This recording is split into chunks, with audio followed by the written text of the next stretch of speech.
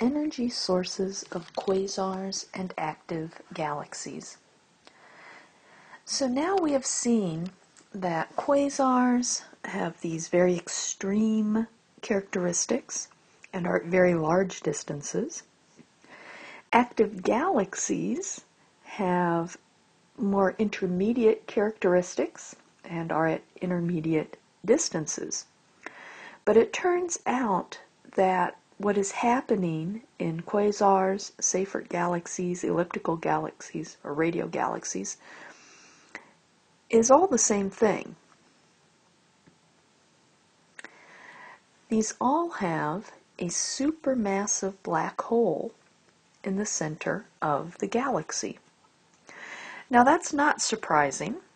Um, pretty much every galaxy we have studied, we have found a supermassive black hole in the center. Our own Milky Way has a supermassive black hole in the center. Um, and there's even some that have more than one supermassive black hole. So that's not unusual, and yet we don't see these characteristics in all galaxies.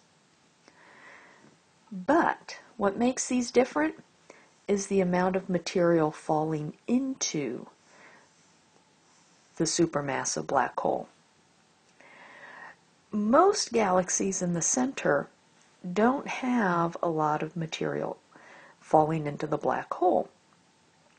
So quasars, Seyferts, radio galaxies need a source of material. And one way you can get that material is colliding with another galaxy. Because now you've got all the stuff that just happened to come by as the two galaxies collide is going to fall into that supermassive black hole. And so now you've got this giant influx of material going into a black hole. And that's going to create these conditions that we see. As material falls into a black hole, it spirals towards the black hole in the accretion disk. Well, as it does that, it's producing friction because you have material right next to other material falling in. And so you're getting stuff rubbing against each other as it falls inward. And as it rubs against each other, that's generating friction. And that's producing heat and energy. So a lot of what we see, uh, the infrared, uh, material, the X-ray uh, radiation, all of that emission coming off of our uh, quasars and active galaxies is mostly within the accretion disk. That's the part that's generating uh, the bulk of what we observe.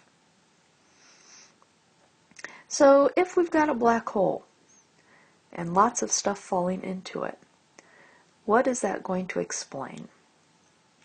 Well, like we just said, energy output.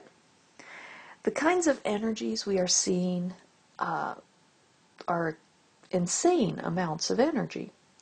That means you've got to have an extreme location.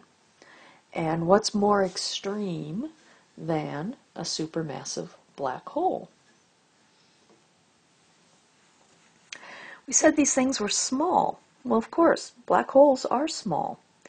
We're observing the accretion disk, which is going to be outside of the event horizon. So it's going to be bigger than the black hole itself, but not huge.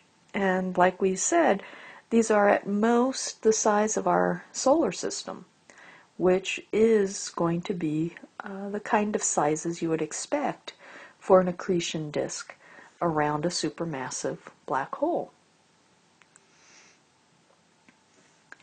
All that emission, as we said, comes from this hot material, and it's hot from friction.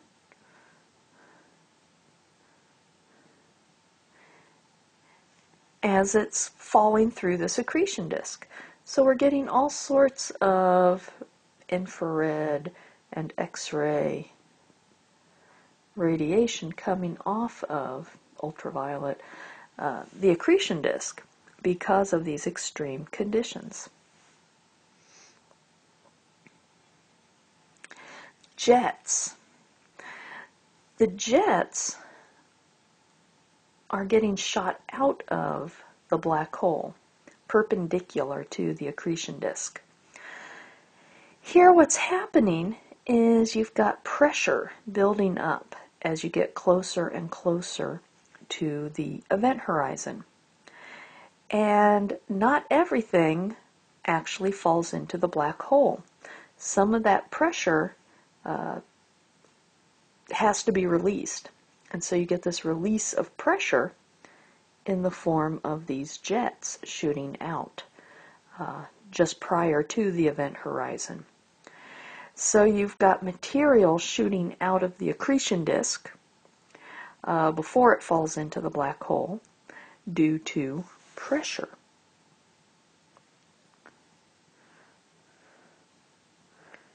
near the event horizon.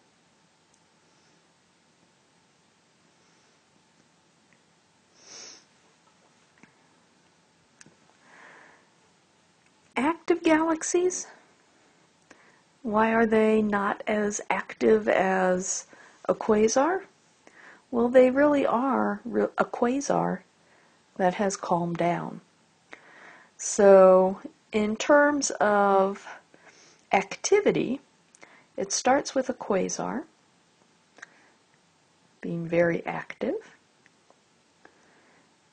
less stuff falling into it becomes an active galaxy.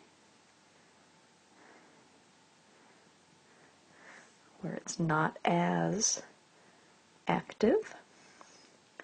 And eventually, it's going to become a normal galaxy, like our Milky Way, where it's very low activity.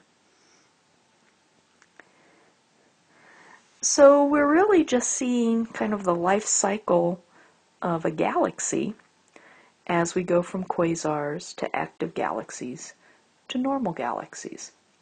And in the next tutorial, we'll talk about those changes in a little bit more detail.